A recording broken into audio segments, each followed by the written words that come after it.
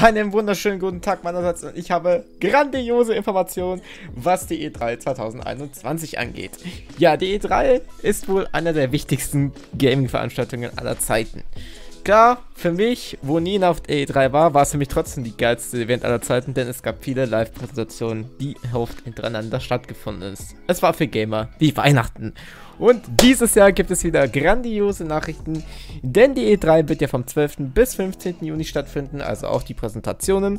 Und die, beziehungsweise der Hersteller oder der Veranstalter hat nun offiziell die ja, Videospielhersteller, die wo eben teilnehmen, bekannt gegeben. Unter anderem, und darauf freue ich mich riesig, ist Nintendo auch mit dabei mit einer Nintendo Direct.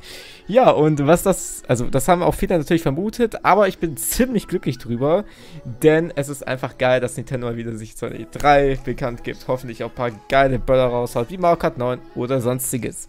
Sind wir sehr gespannt, ich freue mich gerade mega darüber. Außerdem ist auch ein großer, großer, großer Hersteller mit dabei und worauf ich mich sehr freue, und zwar Microsoft ist da, beziehungsweise Xbox. Sie werden nämlich auch mitmachen und das ist eigentlich eine riesig, riesig coole Sache, denn Microsoft und Nintendo sind momentan eine der interessantesten Hersteller. Klar, die PlayStation 5 ist meine Lieblingskonsole, aber, und das ist der große Nachteil, Sony wird leider nicht mitmachen. Sony macht wieder ein eigenes Event. Wahrscheinlich haben sie doch ein bisschen mehr zu kämpfen, was die Pandemie angeht, weil sie gerade aktuell auch irgendwie eher weniger Spiele für dieses Jahr zeigen können. Denn die meisten Spiele, die sie angekündigt haben, wie schon die meisten oder meistens mitbekommen haben, wurden verschoben auf 2022. Ziemlich schade, gerade für mich, wo sich auf Gran Turismo 7 sehr gefreut hat. Muss ein bisschen traurig gucken. Aber vielleicht machst du ein eigenes Event zeitnah. Und wir sehen dort eventuell neue Informationen zu den verschobenen Spielen. Auch weiterhin wird EA, Act, äh, EA Activision und Sega bei no Sega und Namcom fehlen. Was ein bisschen schade ist, aber nun ja.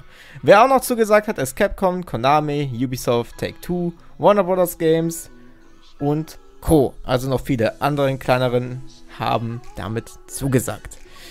Ja, was sagt ihr? Wird es wieder wie Weihnachten, so wie immer? Oder sagt ihr eher so, äh, naja, Sony fehlt, ein bisschen schade.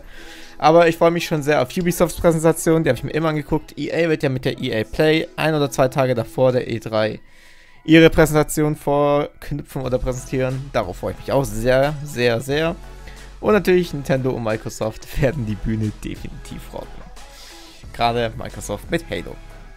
Gut, das soll es gewesen sein. Wie gesagt, schreibt mir gerne eure Meinung in die Kommentare.